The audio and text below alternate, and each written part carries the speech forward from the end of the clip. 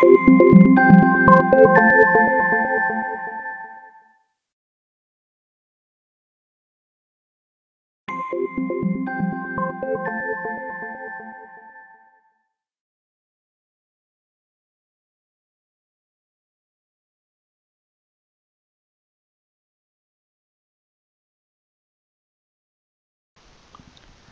everyone, welcome to the video series on UFT automation. Uh, this is part three of the data table concepts. Uh, in this video, we will take our uh, database data table concepts that we learned in part one and part two, and we will actually apply it uh, while working with our uh, sample application. And the way uh, the things are being done in this video that you know the concept or the, the style that I show you that's pretty much how it is done in the real time and uh, I'm gonna go a little slow so you might want to bear with me and probably it's it's a good thing because uh, uh, even if it takes extra five or ten minutes, uh, it will definitely you know help you because you know you learn once and then you know uh, you know you, sh you, should be able to apply it uh, to you know pretty much any application. There might be other things that come in way, but you know the concept will not change.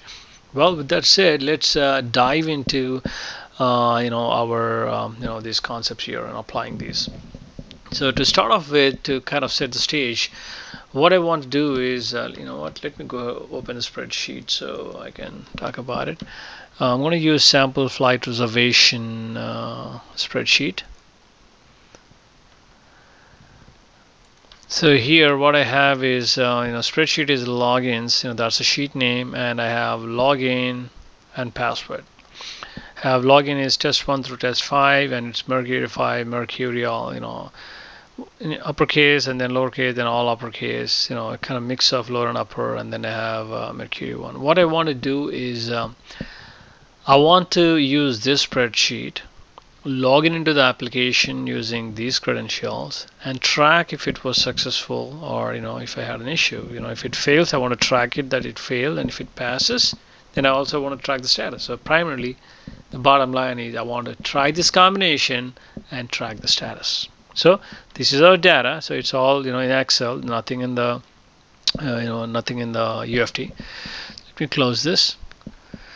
So uh, I'm going to use sampler 2 here. Sampler 1 is all commented out. This is the you know you know sheet or this is an action that we you know kind of looked at in part 1 and part 2 it's all you know commented out. So if I were to run it you know it does nothing.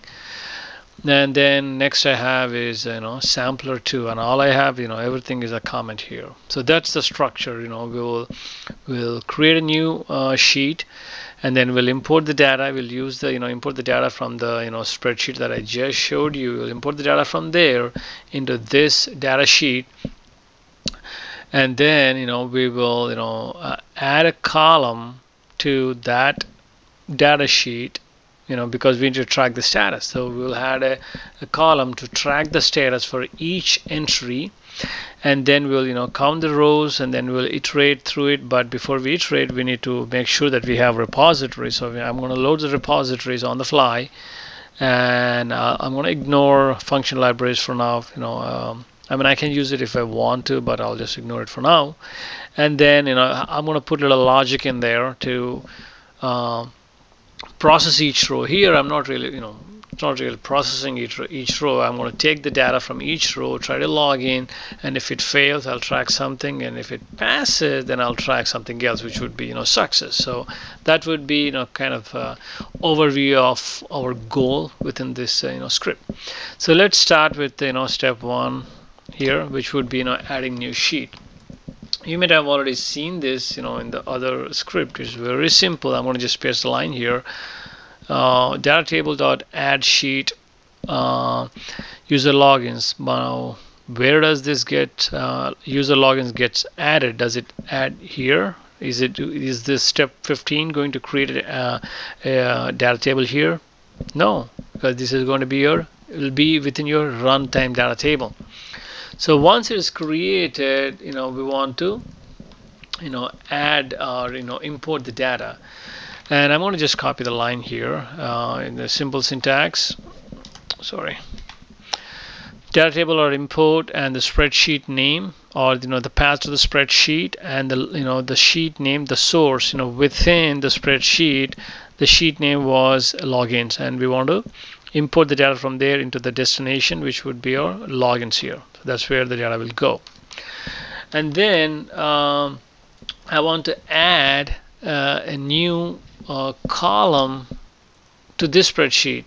Because once it gets imported all you have is login and uh, password. I want to add a third column you know called status so that I want to so that I can track. That means I'm on during runtime I'm going to populate that column so for that first we need to create so data table dot get sheet and we want to work with this sheet.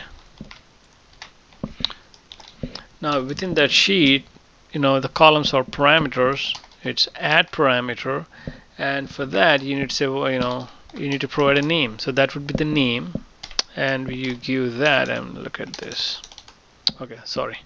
Status comma. That. Now if you're wondering you know what is this uh, thing here uh, why did I put a comma and why you know, I know that it takes it you know and uh, you know IntelliSense is really not giving you much information here right? So then how would you actually know that? Double click add parameter hit F1 it will pull the help and take you to the right spot to look for that. I mean it will search for that you can do you know the very first one is that and it says assigns a value to the first row of the parameter and that's unfortunately that's a required um, uh, argument to be passed.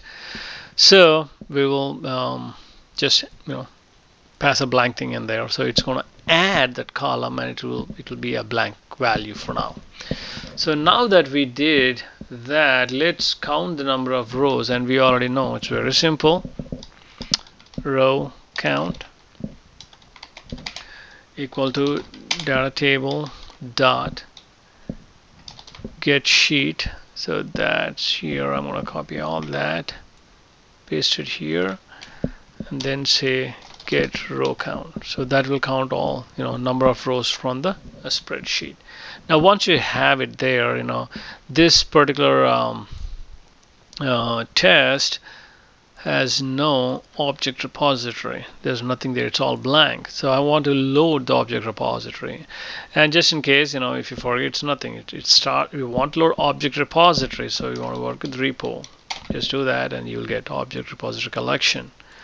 Then say you want to add. And now if you look at this add and do that then you get the path there. Which is I mean you get a little help. So it requires a path. So I already have the path. Uh, we did use this in one of the videos before. So I'm gonna paste it there. So uh, repositories collection.add and I gave the path to the global repository. So at runtime line number 28 will load the repository from here and now I'm going to ignore number six for uh, for now. Then we need now we need to write the logic. We need to go through or iterate through each row and then we need to log in and then what we need to do is we need to track the status. So I'll just start with the template. Of course we need to iterate so we need for loop right? We all we know that one to what? And that's the final right? We need to use a row count here row count paste it there. So that should at least you know iterate um, to cover the total number of rows we have. So now that we did our first step now first is you know you know yeah now that we do you know when we run it we are not starting the application anywhere. You know um, we haven't started. I mean if you go to record run settings you know this will not start any application. So let's start it here. That means if it is not there then we'll start it. So we'll use an if condition now. If if what is true. So we want to look for you know when let me go ahead and start uh, the flight reservation application. So when we start the application what we really get is a dialog box a login dialog box. So for us to log in we need to have this available. So we'll check for this existence and then we will proceed. So that is what needs to be true. That means we need to make sure that dialog box is present. Now unfortunately when you you know work with a shared repository and then we are loading it at the runtime then you know you're kind of a little bit handicapped because you know there is no way now when you do dialog you know bracket open there will be no IntelliSense there will be no help. So I mean you can do it if you know the objects well but what I would recommend is uh, go ahead and associate the repository you know associate repositories and pick the one and then do so assign it to both. And now you know it's it's linked to these um, actions now if I do um, dialog bracket open it will display me both the dialog boxes. Now we are working with the login dialog box. That's the first uh, screen that you see. So I want to make sure this is present. The dialog exit uh, exist and I'll say two that means you look for you know for two seconds there wait for two seconds uh, for the uh, you know to check if the dialog box is there or not. And if that is false what I want to do is I want to start the application. And how did we start the applications before? We used uh, system-util.run and I, I'll just copy that line there and paste it here just to save some time. So if this is not found that means if the login screen and what's our login screen? If I let me go ahead and start that uh, sample application. So if this screen is not found then it's going to start the application. So that's what uh, that's exactly what we're doing in this step here. Now once we do that what we'll do is we'll set the you know uh, current row. We'll say data table dot set current row and we'll use that there. So once this is done now the next thing is we need to if it is found that means you know it will if it is not found it will go into 42 but if it is found that means it is within the operating system then we need to activate it. So we really need to activate this form that means we need to bring it to the foreground. We'll say activate. When you say dot activate it'll bring it to the foreground once you bring it to the foreground then we need to start working with it. That means we need to enter or pass the login name pass the password and then click. The easiest way to do this is because we associated all this what we can do is we can go to uh, object repositories. Then the then we have you know the login dialog box and then within the login dialog box we have all these objects. Now first is we need to pass the uh, user ID user ID goes into the agent name uh, WinEdit box. So drag and drop it there. And then what we need is password. Next we need to click the OK button. We'll take it there. Close it. Now we can you can always you know do dialog you know I'll show that to you. If you do dialog drag it open you get login then you get the whole list here. Win win win button so no sorry win edit. Bracket open then you see. So you can do that as well or you can open the registry sorry the uh, repository and then drag and drop the objects uh, that you need. So the first is the login ID password and OK. For OK it's click we are we, we are fine there. But now dot set you know we need to pass the value uh, from you know from the table. So we know how to read the value. So we'll use that knowledge here you know that skill to get the values. Now that set is that. So data table dot value you know login and and then we're going to pass the uh, sorry we're going to pass the login uh, as the parameter that means that would be the column name and then that would be the datasheet name. So we know the passwords will come from the password column. So this would be changed or needs to be changed to password. So whatever uh, the password column is and whatever values you see in there for every row it will grab that value and pass it there. And you know it's kind of you have to visualize all this. And the reason for that is you don't have the data here. So if it makes it easy you might want to have the spreadsheet open next to you so that you can at least look at it. And uh, let me open the spreadsheet real quick. Okay. So we have spreadsheet. So assume that the first row is actually the header within your uh, you know data table within UFT so when row 2 means it's row 1 within UFT so when it reads this value you know it's a column name is here. So that's exactly what I'm hearing. It's a parameter in terms of syntax but it's a column name. So again to kind of repeat this one data table dot value you're saying uh, what's a parameter and from which spreadsheet or which data sheet so this is the one that we created and we import the data into this so we're going to use the same thing. So once this is done we want to what happens when you click OK right? You know it's there's a path here. I mean either it could fail or it could go through and display you the flight reservation screen. So we need we need we need another if condition here. We need an if condition here to check few things. Number one is if and what is true? If it uh, let's say if it was successful what would happen you would see the flight reservation window right? So we will check if this flight reservation window exists or not and we'll you know we'll kind of wait for let's say a couple of seconds.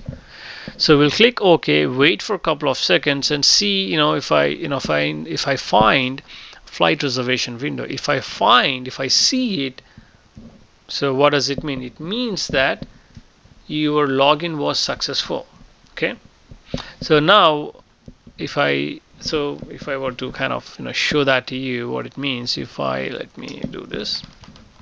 Let me start the application. So if I do test and if I pass the correct credential and click OK if it was successful then I would see the flight reservation screen. As you can see it was taking a few seconds so if I see this screen that means I'm successful. So let me close this. So let me bump it to three seconds because it was kind of taking more than two I believe. Let's try this. So if this is there if if if it was successful what I want to do is I want to track the status. And remember we added a new column called status so we want to update that. And that is again very simple. We'll say data table uh, dot value and we are working with um, uh, the column called status. And the stat is within this data table. Now we want to set the value to uh, you know you can say anything. You can say pass fail or anything. I'll just do pass. I'll say pa uh, passed.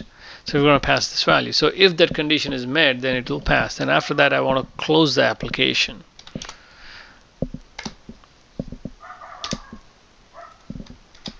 and and I want to close the application so I'll say window slash reservation dot close will close the application. But this if condition only works if your login was successful. But what happens if it was not successful? So in order for you to you know kind of code that, you have to you know experience it first. So let's say I entered something in there, entered something in there. Okay, so what I get is this. Oh, sorry,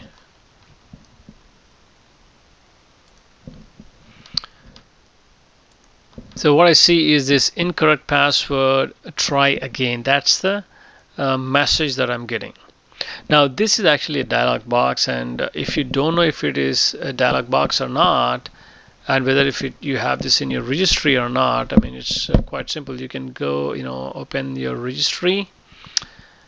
And then you can tell find highlight in application or find in repository and click on this form.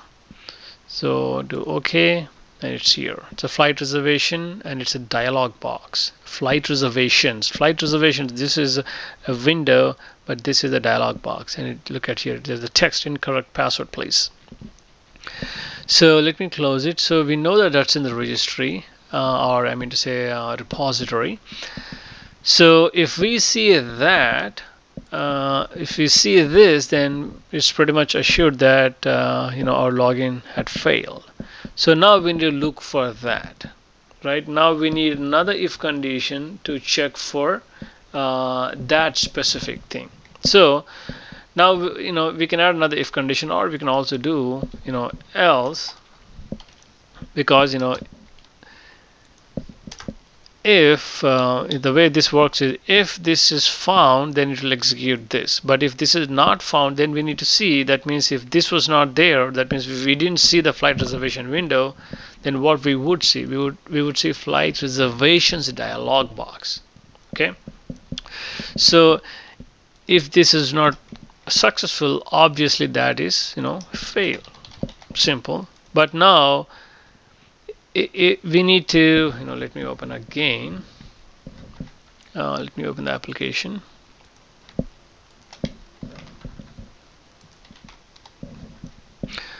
So I'm entering some incorrect uh, information. So now I have this. So when, when I end up this I know that I'm not finding or I'm not seeing the flight reservation window. If I'm not finding I know that it's failed. So the first thing I did was it failed. But in order for you to close the application and run it again you have to first you know close this dialog box. You have to click OK to close it and then you have to close this one. So the first step is to close that box. So now what we do is we, we want to check again you know you want to check if the dialog box is there dialog and that's a flight reservation dialogs box and we'll say exist. If that is found what we will do is we will click that OK button and the OK button is on the flight reservations dot and that's a win button win button and that's okay that's the only button that's it auto populated and we want to click it and after you click it we want to close it. What do we want to close? We want to close the actual uh, login screen. Login dialog dot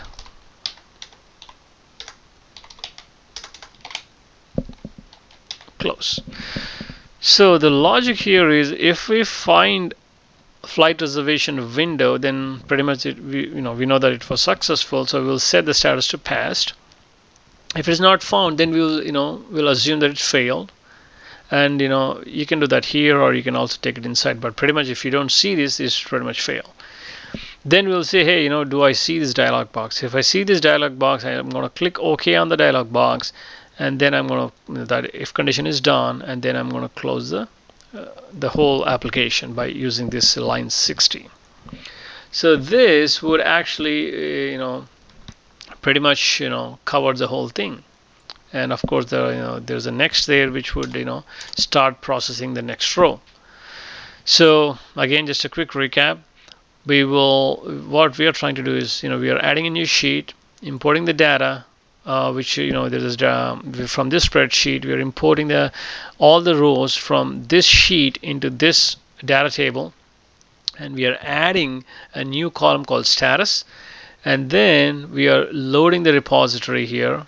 And then we are processing each record. We are logging in. If we log in successfully we'll tag the status as passed. And if it fails we'll tag the status as failed. But for each iteration we'll close the application because we are starting the application for every iteration using line 42 so with that said let me go ahead and uh, remove the repository association because you know we are associating it during runtime line 28 if I run it as it is it will fail. Let me show that to you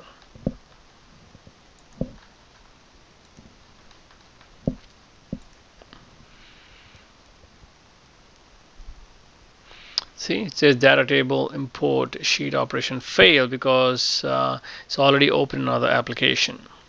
Because it's already open within UFT and you're trying to load it again. That's the reason why you know it failed. Let me stop that and uh, go to resources object repository oh, sorry. Object associate repositories and remove this. And completely remove that. Everything is done and now let me go ahead and run this.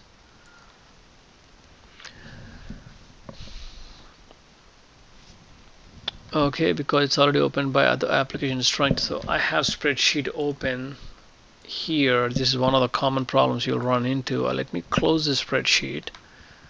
Stop. And now uh, let me run it again.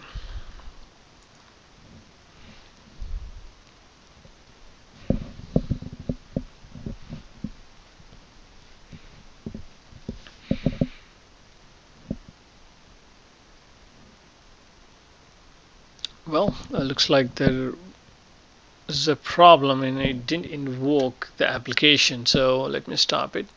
So every now and then you know you might run into a situation depending on uh, you know you know application you know things might not start. So there is a you know backward compatibility compatible command called invoke uh, invoke application. And let me try this one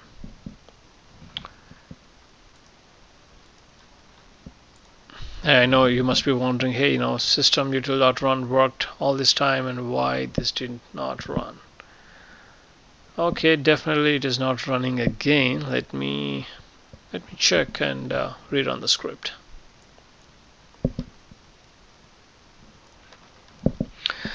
Okay, it's my bad. It's um, let me go back and fix it. Uh, uh, instead of invoke, I'm going to switch back to system util dot run. Now we know that we have some issue here, right? Um, let's review this block uh, for if if block. It's saying if this is found, then run it. You know, which technically does not make any sense. It should be more like if it is not. Um, let me see if this syntax works. If I do. Um, I kind of switch between Java and C Sharp and VB. Sometimes I get confused. I know I, I know for sure I can use false.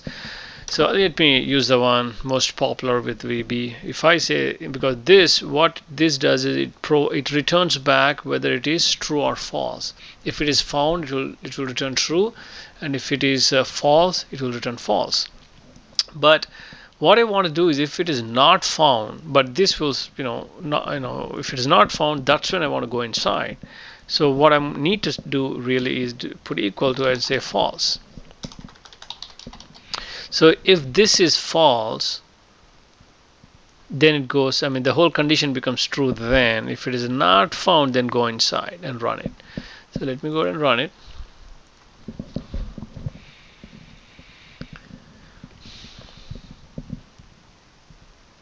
waited for two seconds start the application it failed. Let's see what it does. It closed it. Looks like it is processing the second time it done third time.